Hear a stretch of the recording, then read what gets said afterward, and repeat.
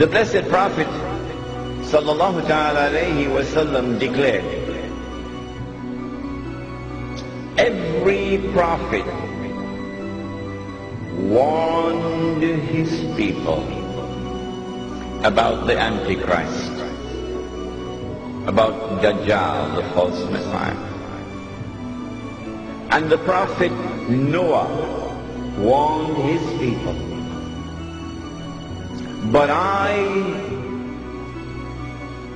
I say to you something that none have said before me.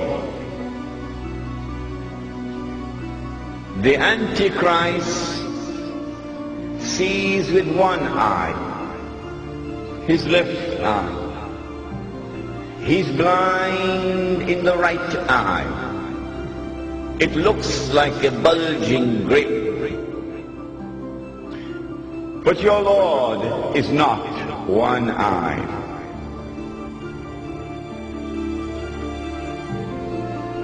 And on the back of the dollar bill, there's a seal on this side. It's called the Great Seal of the United States. That's what it's called. It's their seal. Now, behind the seal, this is actually what is behind the Great Seal of the United States, is a pyramid with one eye. Now, the one eye is the sun god, Ray, is where we get the word ray, sun rays. It is the sun god, same Mithraic character, and he shows up again and again.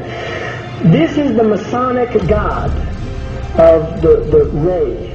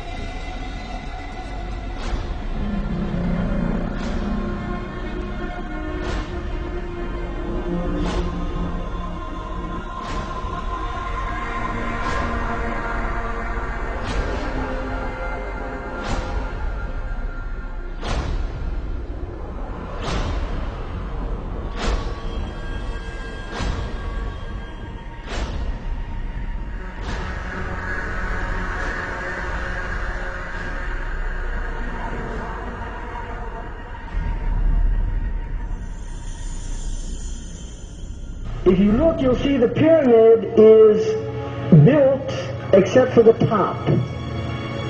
It's built except for the top. The eye is suspended above the top. It hasn't come down yet. Because they believe until they finished the Masonic project, which is the, the what they say on the bottom, Novus Ordo Seclorum, and then Annuit Coeptis, he is pleased with our project.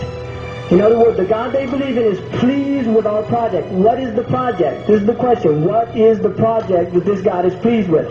The project is literally the secularization of the world. To completely strip the world from religious beliefs. This is the project, and that is why it is called Novus Ordo Seclorum, a new secular or worldly order. If you translate that into Arabic, it would be a Nizam al-Alami ad-Dunyawi, not al-Jadid. It would be a Dunyawi, the new temporal order, the new order of the world.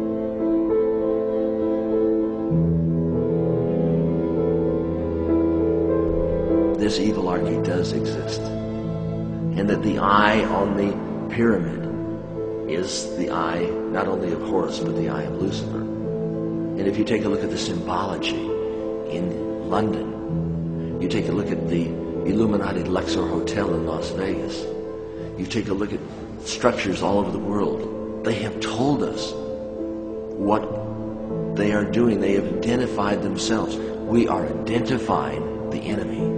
We have identified the enemy.